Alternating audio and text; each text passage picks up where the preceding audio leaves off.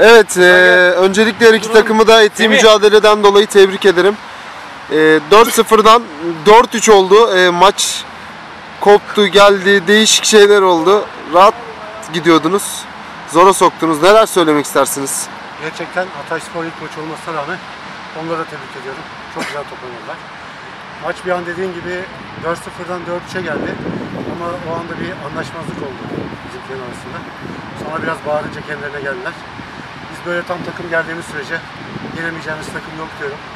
Lig Maraton'a da her seferinde olduğu gibi yine çok çok teşekkür ediyorum. Böyle arkadaşlıklar, dostluklar bizlere kazandırdığınız için. Bundan sonraki maçları inşallah kazanıp lider olacağız. Liderler göz tutuyoruz. Teşekkürler. E, Bekir, e, teşekkür ederim.